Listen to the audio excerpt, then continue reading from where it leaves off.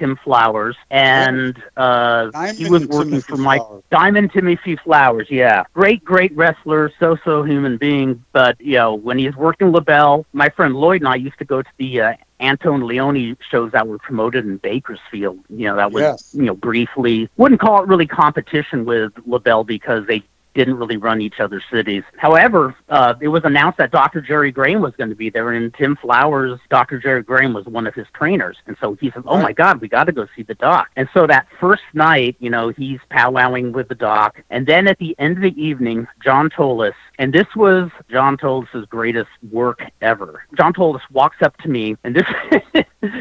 This was when I was about 110 pounds and had this big, giant, bleach blonde afro. I looked like a walking Q-tip. And Tolos walks up to me and says, uh, "Young man, um, I was informed you lived in the L.A. area." And I'm going, uh, "Yes, sir. Yes, sir." Well, listen, you know, I'm kind of in Woodland Hills, which is a bit out of the way of L.A., and that's where Dr. Jerry Graham lives. Would you do me a big favor and could you give him a ride home? And I'm like, "D- d- d- Dr. Jerry Graham, I, yeah, yeah, of- of course, yes. So I'm, I'm like on cloud nine. And the reason I say it was Tolos's greatest work is because he didn't so much as snicker or crack a grin. He just, of, of course, maybe uh, maybe that was self uh, preservation because he didn't want to drive Sure. Doc home again. And so Doc came out and was well, hello, young man. How are you? And he shakes my hand, and he's super charming, super suave, and Big cigar. well, he got the cigars a little later in the evening. It was uh, after Oh, I the match was concluded. I had been I had been drinking some, so Tim Flowers was driving, and the doc,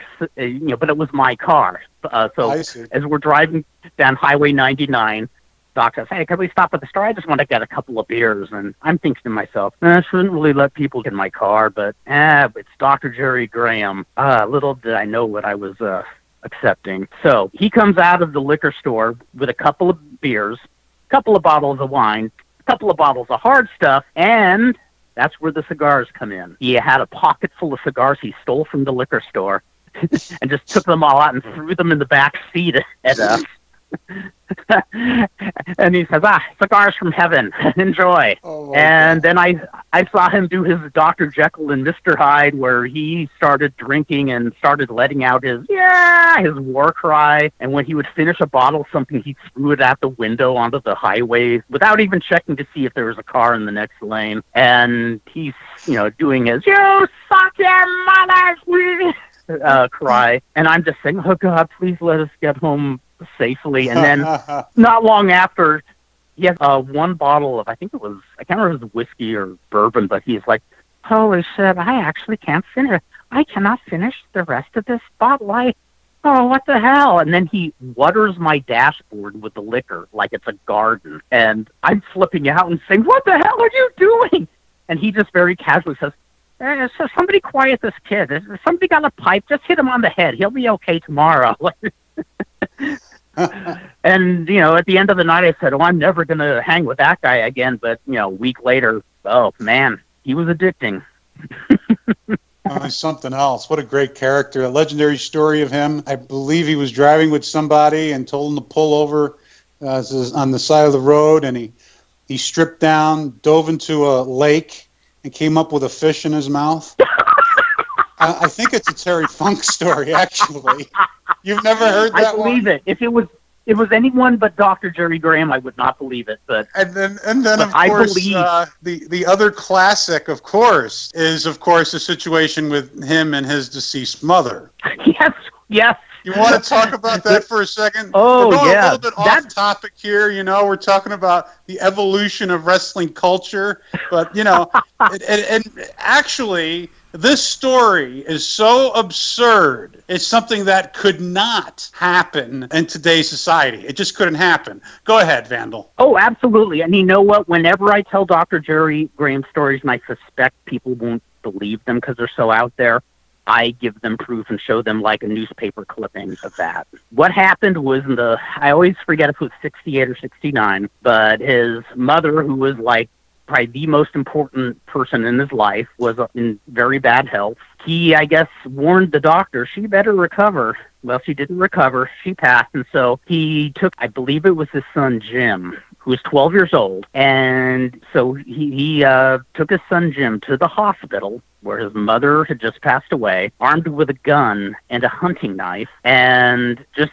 uh, w- when people were trying to say, uh, "Sir, sir," uh, you got to back off. He just pushed him out of the way and said, "I, I just want to bury my mother." So he uh, got his mother's body, and I always forget whether he he took the body out on um, a gurney or if he had her over his over. yeah that's what i heard. Well here's the, that's the other funny thing. This is the most outlandish tale but rock rims and i were discussing this a couple months back. It's a crazy tale as it is but people insist on making it crazier. Like there were people claiming that he put the body in a car and took the body fishing uh, another one that he was running down the street and tried to bury in a vacant lot no, he he made it out to the parking, and one of the officers I later learned was somebody who was a, a relative of his wife's, and he was able to like talk some sense into Jerry, but not before Jerry like plowed his hunting knife. I think through a telephone pole or something. yeah, and I, I think there was another incident about a month later where uh, he was making a ruckus in his front yard, dressed only in his wrestling trunks. You know, I guess giving the neighborhood a show. but I mean, I, I I remember I late at night driving home from Bakersfield, just stuff you you didn't think you were with a silent movie comedian. You thought you were in a silent movie comedy because he'd be so wrecked, and he did this several times. Like, where like with Fatty Arbuckle. Exactly, exactly. Fatty what, what he would do. Yeah, he was a big boozer. Yeah. Big guy, Big- and- and like Dr. what- Jerry. And what Doc would do was he'd he'd take a cigarette and then he'd have a book of matches and he would go to light the cigarette and every time the match would go out before he got the cigarette lit. And I swear to God, he'd go through an Like entire a book of matches. or something. exactly. That's what it is. And and when the when when, when the matches were gone, he'd start going, "Fire! Fire! I need fire! God damn it!"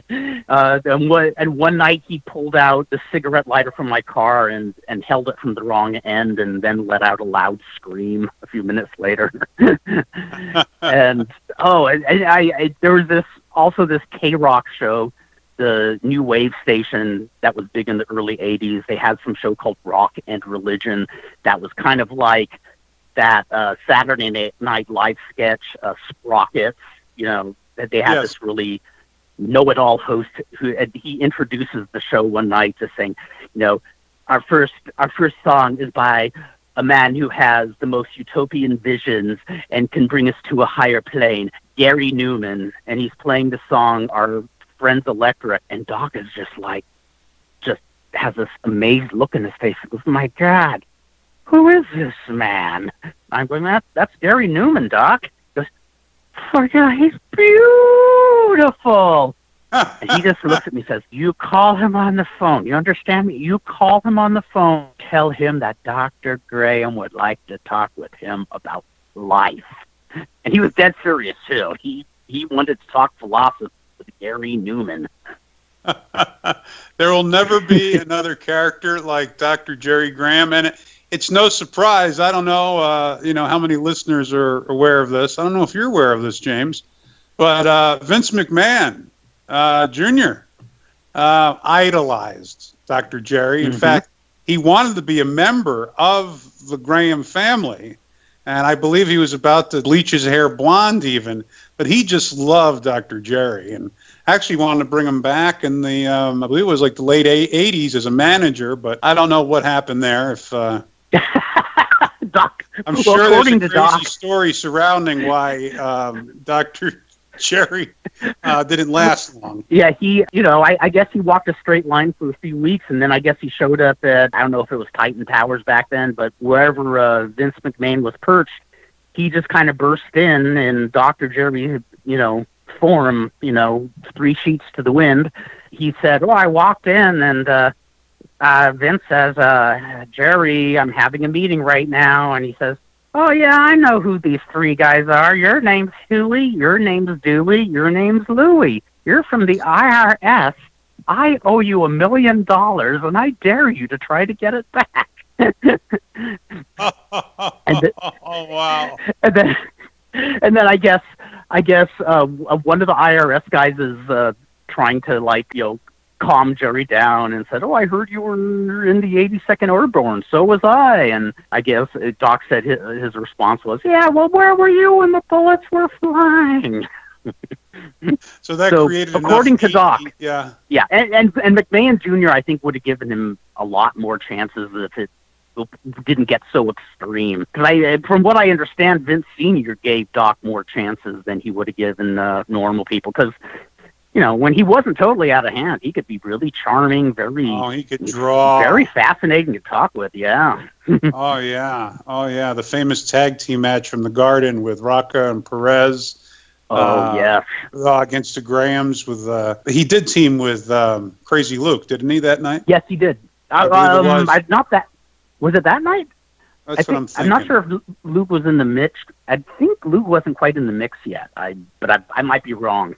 I forget who Graham teamed with, but there was a huge riot at the Garden that's yeah. documented in newspaper reports, and just the incredible heat. And um, oh, it was yeah. with the Bruiser. He teamed with the Bruiser, oh, and they were okay. against Carpentier and Rocca.